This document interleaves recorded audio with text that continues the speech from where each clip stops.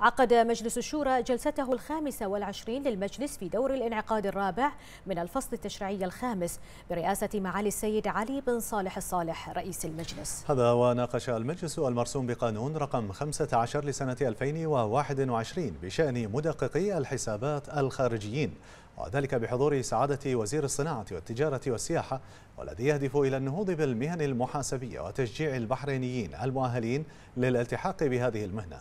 وقرر المجلس الموافقة على المرسوم بقانون. كما بحث المجلس مشروع قانون بتعديل المادة 143 من المرسوم بقانون رقم 54 لسنة 2002 بشأن اللائحة الداخلية لمجلس النواب. وقرر المجلس بعدم الموافقة على المشروع مشروع القانون من حيث المبدأ. كما ناقش المجلس مشروع قانون بتعديل المادة الخامسة من قانون تنظيم المباني الصادر بالمرسوم بقانون رقم 13 لسنة 1977 وذلك بحضور سعادة وزير الأشغال وشؤون البلديات والتخطيط العمراني والذي يهدف إلى اشتراط تقديم شهادة فحص للتربة التي سيتم البناء عليها أثناء التقدم بطلب الحصول على ترخيص البناء للتثبت من جودتها حسب المواصفات والمعايير الدولية وقرر المجلس الموافقة على مشروع القانون من حيث المبدأ.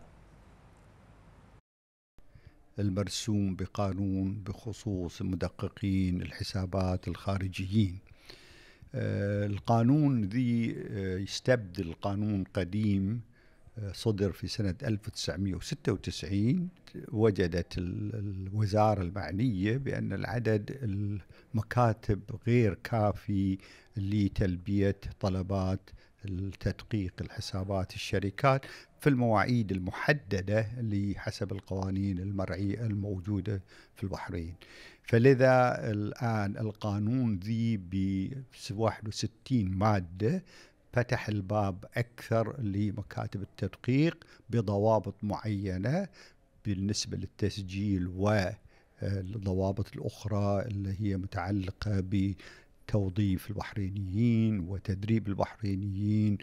المعروض على مجلس الشورى اليوم آه، مقترح بقانون بإضافة آه، بند جديد للمادة خمسة من القانون البناء اللي صدر سنة 1977 هذه الإضافة تتعلق بوجوب تقديم مستند لفحص التربة للمبنى المراد إنشائه آه هذه الشهادة يجب أن تقدم من مختبرات معتمدة وتحتوي على جودة التربة ومدى قوتها وتحملها لأن هذا الأمر في الواقع جدا مهم لأنه يحدد مدى تحمل هذه هذا الإنشاء والرسومات الهندسية الواجب تقديمها أو تعديلها لتتناسب مع آه، هذه التربة.